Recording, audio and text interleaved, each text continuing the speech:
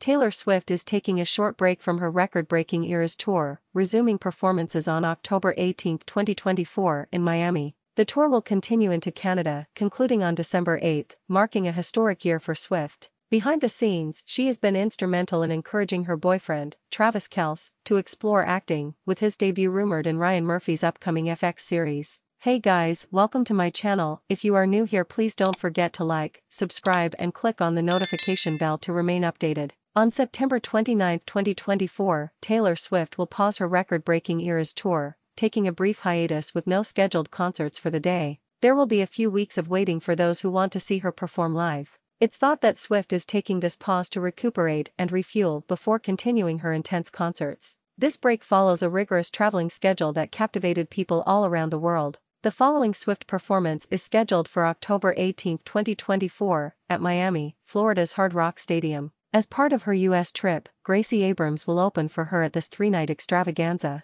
Through October 20th, Swift will be performing live in Miami, providing fans with a highly awaited chance to witness her live. Given how quickly venues are selling out for her Eras tour, these shows could bring enormous audiences. In November, Swift is expected to go to Canada after her performances in Miami. This leg of the Eras tour will conclude with her final show on December 8, 2024, capping up an incredible year for the performer. Swift has become one of the most important artists of our generation because to her ability to keep her audience interested with a blend of nostalgia and contemporary music. Behind the scenes Kelce and Swift's Hollywood connection Swift is continuing to be active in the entertainment industry even if she is taking a vacation from performing. She recently urged her boyfriend, Travis Kelce, to try out for a part in Ryan Murphy's FX series Grotesquerie. Murphy disclosed in a recent interview that Swift had a crucial role in encouraging Kelce to pursue acting chances. Murphy was apparently pleased by Kelce's commitment and innate talent on site. Murphy praised Kelce's professionalism and pointed out that he went above and above by studying his co-star's lines as well.